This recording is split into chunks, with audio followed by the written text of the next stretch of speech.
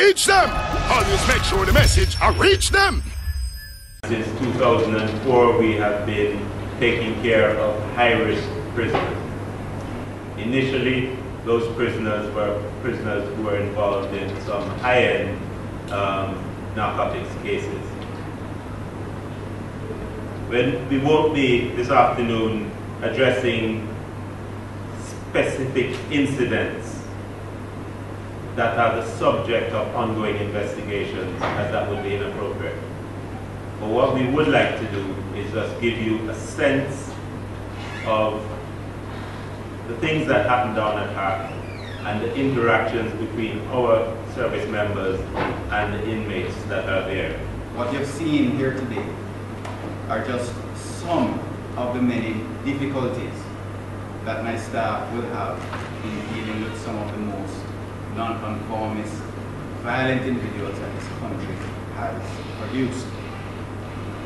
What we are doing here is simply getting the assistance of members of the Jamaica Defense Force in helping to secure some of the more troublesome individuals. I am authorized under the provisions of the Correctional Services Act, or the Corrections Act, to designate members of the Jamaica Defense Force as authorized persons. Once they're so designated, they enjoy the full powers and privileges as a correctional officer. The benefit of the, the differences really in the terms of service under which members of the military operate under the Defense Act, as opposed to correctional officers operating under the Corrections Act. We try to make the best use of each arm so that we can achieve security and safety for the various inmates that we hold. I hope that the, the footage that you saw today gives you an idea of some of the challenges that staff, whether it be correctional services staff or military, what they face on a daily basis.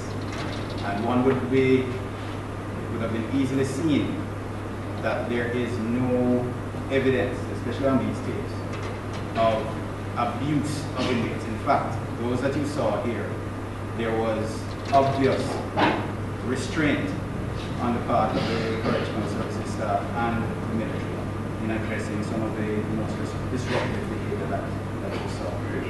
For many years, and we have just managed to get some relief from it because of the special security measures which have been in place at Horizon to deal with these individuals. As General Anderson indicated before, one of the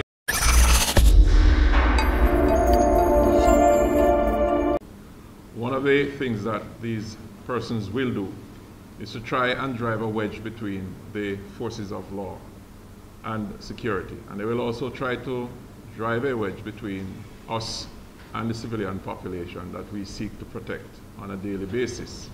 It is important that we understand that these individuals are unrepentant, many of them.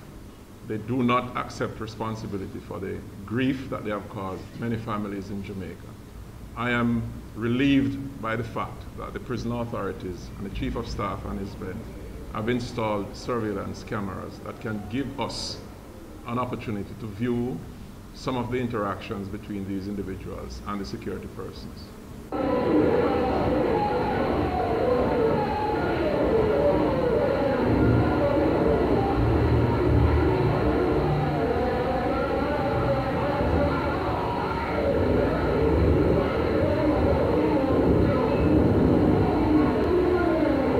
Those here, officers remove comrade who just been doused with a mixture of pieces and water to prevent from overreacting.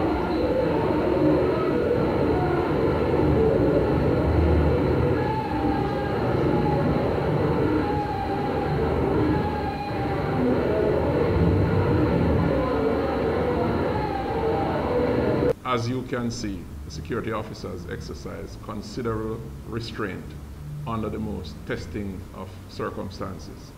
We expect no less than this from them.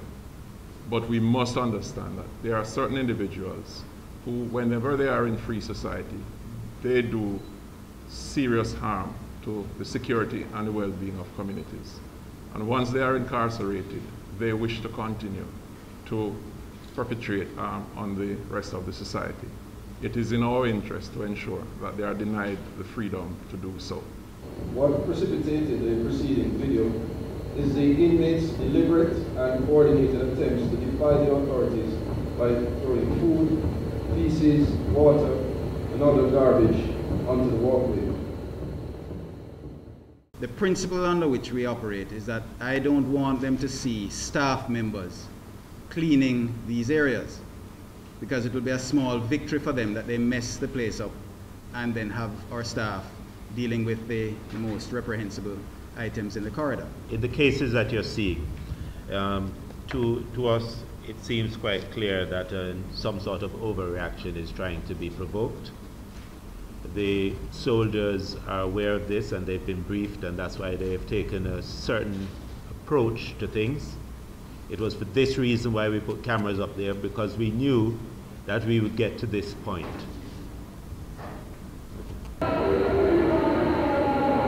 Frustrated in his attempts to destroy the library, he now turns his attention to the camera facing his. The only restraints that we're authorized to use under the Corrections Act are handcuffs and straitjackets. That's it. So we're not even allowed to use um, leg restraints. Soldiers that are on that post are armed with their bare muscles and batons. Yes. We do not allow firearms onto the security posts. So it is all batons and just using the, using the, the brawn that they have. At this point, the department is not, is not contemplating a change to the legislation. What we are trying to do is to acquire some more non-lethal um, weaponry, things that would not, would enable us to subdue an inmate without causing injury. Um, at this point, we have some budgetary constraints under which we have to operate, and we are trying uh, uh, an assortment of means to try and get these non-lethal weapons in our arsenal. Teach Dem! Hey yo, hello! Send the message and make it reach them. It's Teach Dem right here. Warlord representing. Thank you for watching. Please leave a comment below. Remember to like and share the video. Don't forget to subscribe for more awesome content. Follow me on social media and check out the suggested videos on screen. This is Teach saying, until next time, walk good, my friends.